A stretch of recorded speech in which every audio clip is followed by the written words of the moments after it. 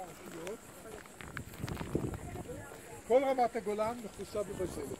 הבזלת היא לאווה שנכנסה בתוך כדור הארץ ורמה והתקררה והתגרשה ונעשתה לסלע.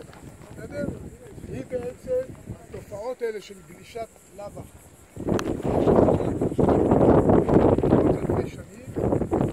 יצרה את רמת הגולן.